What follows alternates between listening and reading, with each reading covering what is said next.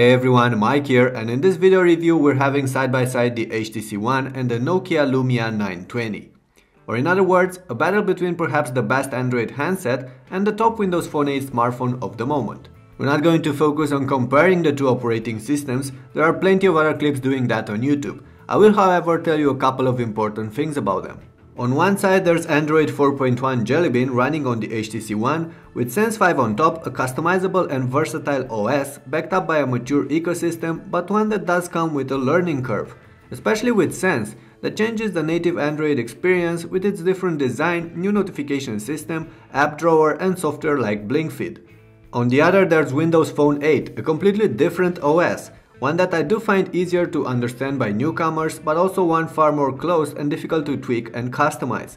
And then one that still lacks some of the apps and the features available on Android, like Instagram or a smart dialer to name just one of each. So in the end, choosing one side over the other is up to you. I for one am happy to let you know that both phones are incredibly snappy while dealing with everyday tasks and can handle more complex chores as well, like modern games and all sorts of multimedia content and that despite the fact that the hardware on the HTC One is clearly faster than the one powering the Nokia, so kudos to Microsoft for their software optimizations. In fact, both these phones are great multimedia companions, mainly thanks to their gorgeous screens.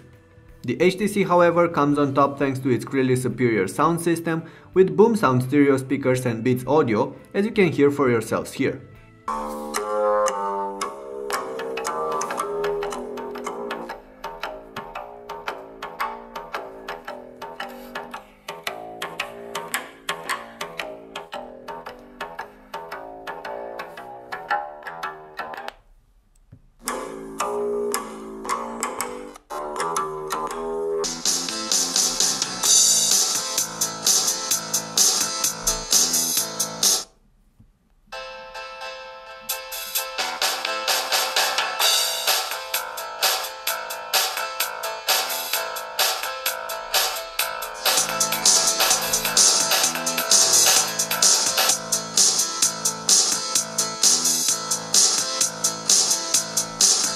Let's focus a bit on those screens though. On the HTC there's a full HD 4.7 inch display with a Super LCD 3 panel and this is probably one of the best screens I've ever seen on a mobile phone.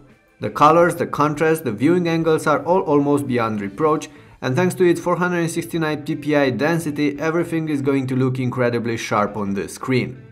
The Lumia 920 packs a slightly smaller 4.7 inch display with 768 by 1280 pixel resolution, so the pixel density is poorer, but you hardly see the difference in everyday use. Nokia uses an AMOLED panel for their flagship, plus what they call the clear black filter, which does help delivering the darkest of blacks, excellent colors and contrast. The AMOLED screen on the 920 is also brighter than the one on the HTC, which means that the Lumia will be easier to use outside in strong light. But there's one more thing. Both screens are covered by Gorilla Glass, but the layer on top of the Nokia is more sensitive, so you will be able to use the Lumia with gloves or even with a standard pen, a feature not offered by the HTC. And then there's another important aspect that makes these two phones stand out from the crowd, their main shooters. It's a fight between Nokia's PureView technology and HTC's Ultra Pixels. Allow me to explain. The HTC One comes with a 4 ultrapixel camera, which in simple words means that it can only take 4 megapixel pictures, but the actual pixels on the sensor are larger than the ones on the average camera. That, combined with an optical image stabilization system and an f2.0 lens, does help the One get great pics in poor light conditions.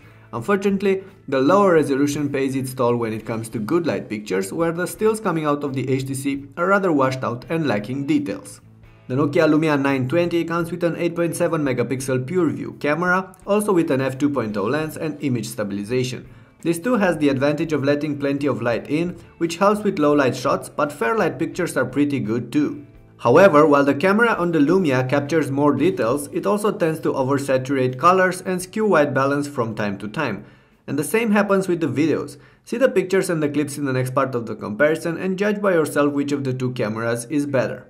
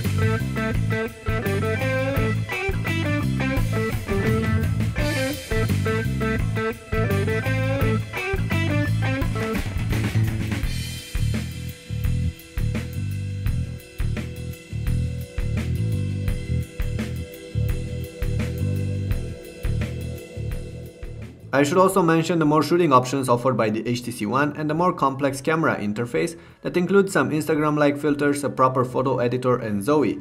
On the Lumia, you have lenses. Alright, and now that we talked about the software, the screens and the cameras, let's focus a bit on what's left.